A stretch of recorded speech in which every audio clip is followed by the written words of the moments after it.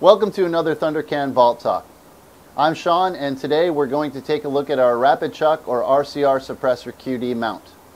So what is a QD mount? A quick detach or QD mount allows you to quickly and easily move your suppressor between firearms providing secure and positive retention every time. Our patented Rapid Chuck is designed differently than any other QD on the market. One of the weak points of most systems is the locking collar. Generally, these are spring tensioned locking jaws to provide retention to your firearm. We've engineered out the spring system to provide a truly unique and stable system. Now let's bring the camera back and take a look at what we're talking about. The RCR QD mount is machined from titanium and 17-4 stainless steel. As we mentioned, one of the defining features of our Rapid Chuck is the fact that we don't use any springs for locking retention, meaning there are no parts to wear or replace. As you can see, the jaws on the RCR mimic a lathe chuck.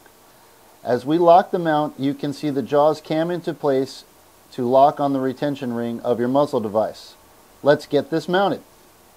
First, the RCR screws into the back of your suppressor. The mount is designed to be compatible with most suppressors on the market. Once it's tight, simply thread the mount onto your muzzle brake and then twist the locking ring. And that's it.